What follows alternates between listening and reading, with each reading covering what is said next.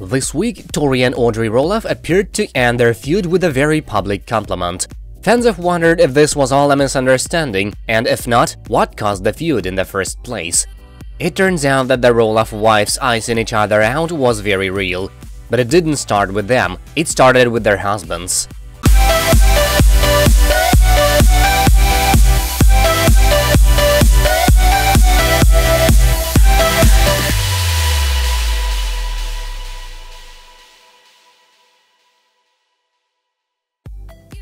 After Tori Roloff opened up about both her miscarriage struggles and her and Zach's effort to conceive, Audrey reached out.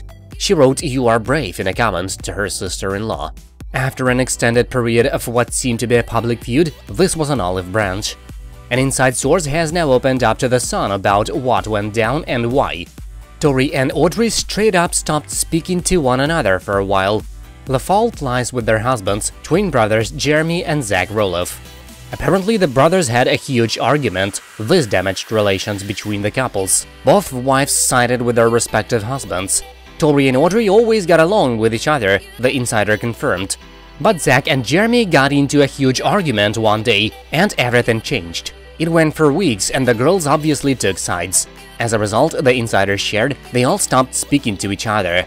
But what started all of this? The argument was about lack of respect, the source explained. Zach felt he didn't get enough support from Jeremy, but he didn't agree.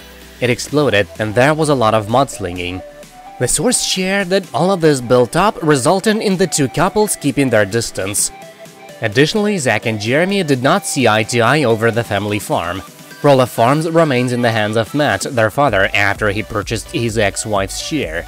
But Matt is looking to retire soon, and that means passing on the sprawling Oregon property. Matt's dream is apparently for his sons to take over. Zach has shown the most interest, but it's sad that Matt thinks that Jeremy better understands the business. Meanwhile, as Matt has noted, Jacob has some specific knowledge about soil and compost that could benefit the farm. According to the inside source, Zach and Jeremy are once again on speaking terms. It took some time, but they got there. Meanwhile, Tori and Audrey are said to be slowly building bridges.